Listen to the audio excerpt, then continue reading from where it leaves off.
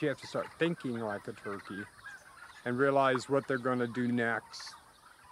And also sort of learn their language. I mean, turkeys are always talking. They have a tremendous language of their own and uh, many, many different vocalizations that mean different things. So that's part of the reason why Ben Franklin didn't want the eagle. He thought the wild turkey was a far more majestic, honorable animal. People think turkeys as being stupid and you know drowned in the rain, all this stuff, which isn't true. That all got based where people went out and bought baby turkeys and brought them home and didn't properly house them, and it rained and they all drowned. But my response to that is take a human baby and put it out in a rainstorm, and see how long it, it survives. It'll put its head up and drown.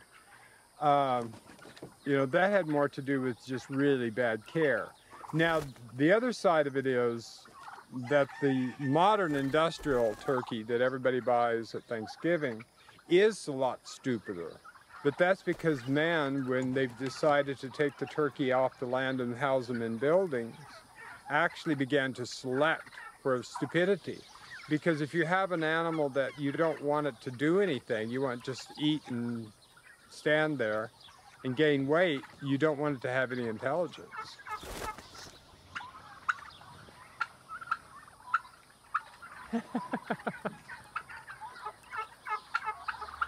they like to be where the action is.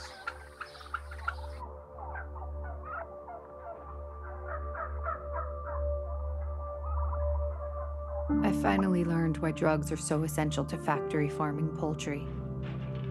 Healthy birds don't require drugs, sick mutated ones do.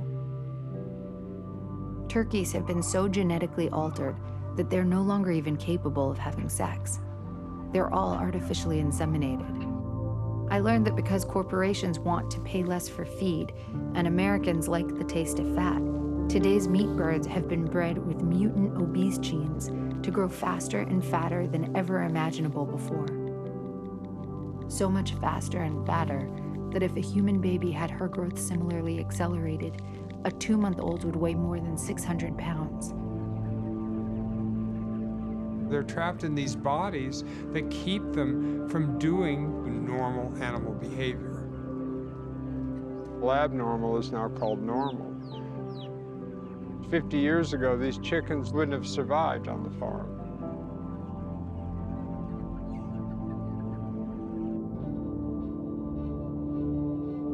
The family farm was the original small business in this country. It was this notion that through your own hard work and your own decisions, you can either succeed or fail. And that was an idea that embedded itself in the American way, that embedded itself in the American economy and culture, and lasted until the 1970s when we changed what economic sovereignty meant. You know, the almighty good and the best object you can achieve is just cheapness. Make the food as cheap as you possibly can. And as long as it's cheap, people really didn't care how it was produced. We still hold this idea in our head that there's capitalism out there in rural America, that we have independent farmers that rise or sink based on how well they do. What we really have now is a system that looks a lot like a Soviet Politburo system. It's a system based on central planning, central ownership, centralized control.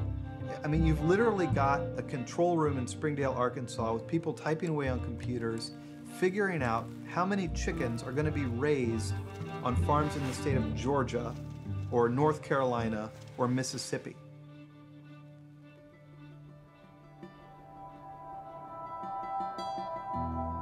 John Tyson and his son Don were brilliant businessmen. You know, he started out by hauling, you know, fruit from Arkansas to Kansas City, and then when that went under, then he started hauling chickens, and then that's what started his business. He had a lot of guts. Don Tyson was brilliant and visionary and ruthless and completely unsentimental. He was born in near poverty. The northwest corner of Arkansas was the poorest corner of one of the poorest states in the country. Nobody showed a great measure of pity to him when he was growing up, and I don't think he felt he owed that to anybody else. The chicken business it was pretty simple then.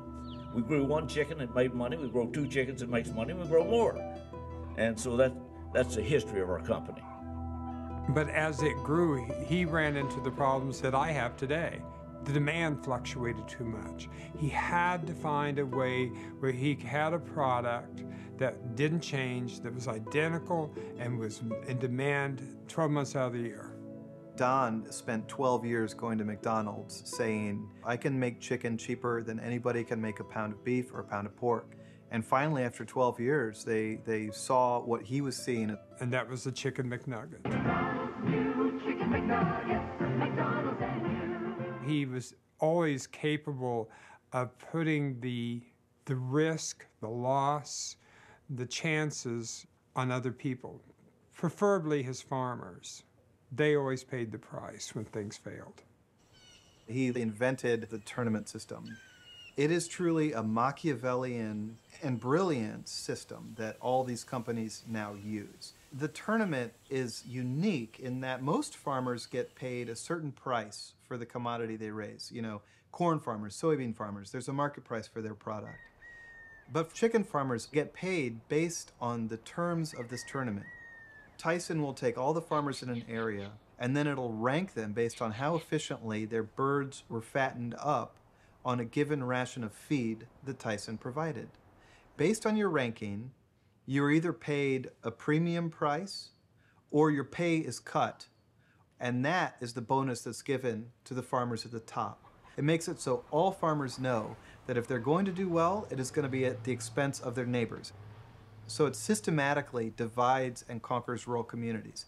It makes sure that farmers don't cooperate, they don't share information. If I try to compare the results of my tournament to my neighbors, I can actually be sued by the company.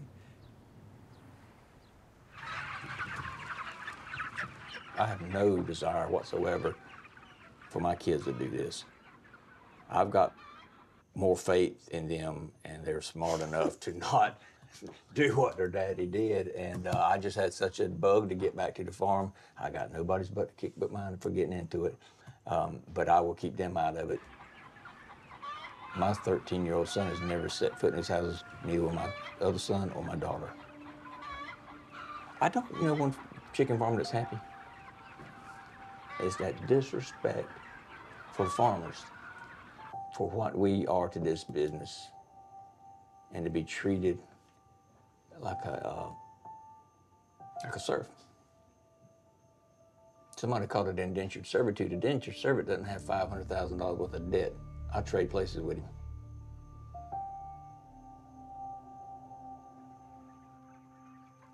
Year after year, the lopsided contracts reduced Craig to little more than a low level manager of his own farm. Owning nothing more than the houses, the waste, and the dead birds, his chief concern becomes protecting his family from the danger of their massive debt. It's not just the unwinding of a way of life. There is, perhaps, an exhaustion of spirit.